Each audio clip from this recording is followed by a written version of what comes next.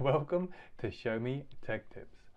Have you ever had a window that's disappeared off the edge of the screen and you don't know how to get it back? If so, then this video is for you. I'm going to give you three different ways that you can get those lost windows back on screen. Okay, so you found yourself in an annoying situation where your windows have disappeared off your screen, off the edge of the screen is normally what's happened, and you want to get them back. This happened to me just the other day, and so I'm going to show you three different ways you can get your windows back if they've disappeared. So in this particular scenario, I've got two. I've got a Chrome window, which is refusing to show itself, and a Word document, which is also refusing to show itself, although you can see it sort of flicking on the edge of the screen there. So how do I go about getting those back? Well, the first of the three ways I'm going to show you involves using the Cascade feature on Windows. You do that by right clicking on the taskbar and you'll see a whole lot of options here. The one you want is the one that says Cascade Windows. If you do that, you'll see that some programs will pop back onto screen. So Chrome is a good example where that will pop back on and you've got your window, you can then use it as normal. However, you'll notice the Word document is still nowhere to be seen. So we're going to have to kind of go for the next step on that. So the first important thing is to make sure you've got it selected. Now you can either select it from the icons on the bottom if you've got it on the bottom here, or you can Alt Tab between them. So pressing Alt and Tab, I can switch between the windows. I've got a few other things running to record this video, but you'll notice that the window I'm trying to get back, I want to have a white uh, border around. You can see it here.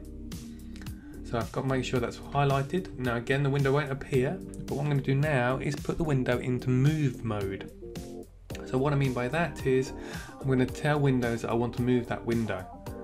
So to do that, I'm going to click on the Alt key with the space key and the M key all at the same time. And you'll notice that when I press Alt, space and M, the cursor changes. Now, if the window was right on the edge of the screen, I might be able to drag it back, but it's nowhere to be seen. So I'm now going to use the cursor keys or the arrow keys to get my window back. So I happen to know my missing window is off the right hand side of this screen. So I'm going to click the left arrow and you can see it starts to come back. I can also go up, down and right and you can see I can then pull it back into view and you'll notice that after a while the cursor will jump onto the window and now I can just move it using the mouse. Once Windows sees the missing window then it uh, tries to help you out a little bit.